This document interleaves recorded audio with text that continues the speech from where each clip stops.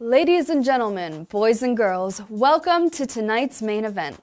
In this corner, it's the perfectly good, strong tire.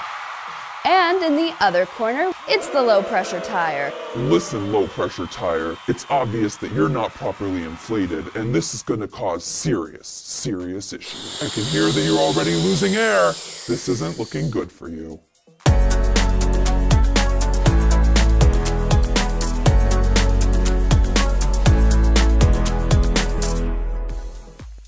Spare you the details of that square off and confirm what you probably already expected.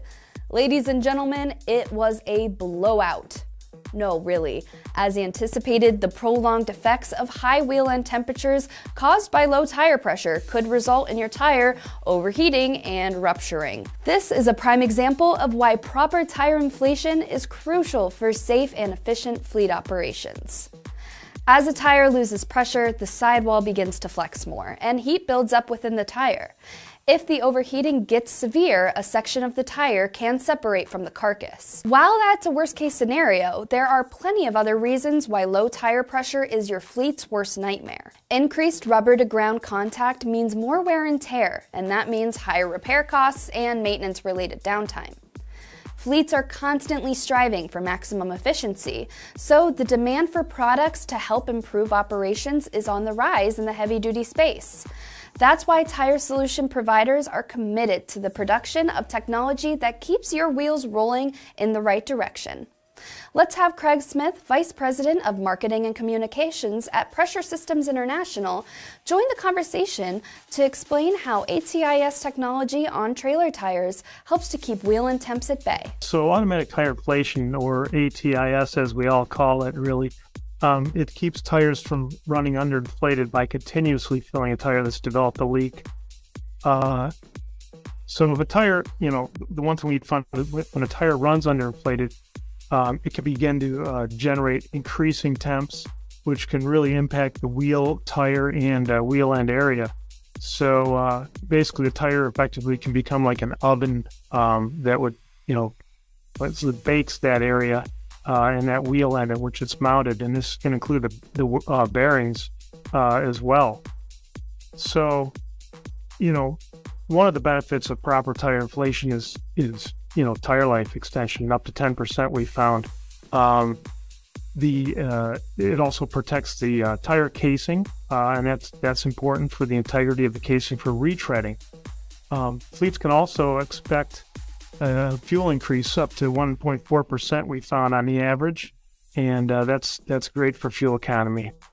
This is great, in it being that tires and fuel make up two of the highest costs in the industry. But this type of technology also mitigates the potential for much more severe outcomes, such as breakdowns, accidents, roadside calls, and of course, the costly hit that comes to profit from repair fines and downtime. Should the indicator light go off and air starts pumping into your tire, you can choose to sideline the truck there depending on the severity of the leak, or continue on to the next and allow the system to do its thing. Companies like PSI and other tire management solution providers additionally understand the importance of not just staying alert regarding tire leaks and punctures, but also actively monitoring the state of each wheel end. PSI recently introduced Digital Thermalert, a system streaming real-time temperature readings for each wheel end directly to a TPMS portal, even while the vehicle is in motion. Fleet's equipment run at different temperatures based on the load, uh, the roads, uh, drivers, uh, you know, break-in periods for different kinds of equipment. Uh, for example, disc brake systems we found seem to break in at a higher temperature than than traditional drum brake systems.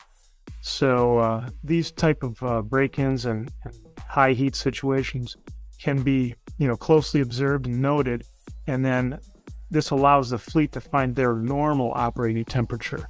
So we're not getting false alerts and things like that a great way to establish the status quo for operating conditions. Identifying wheel end failures promptly and keeping a close eye on the state of each tire is crucial to reduce the risk of a wheel off situation or worse. Keeping those tires in tip top shape will help ensure your trucks stay on the road. For even more trucking and equipment content, roll over to the Fleet Equipment site at fleetequipmentmag.com. See you next time.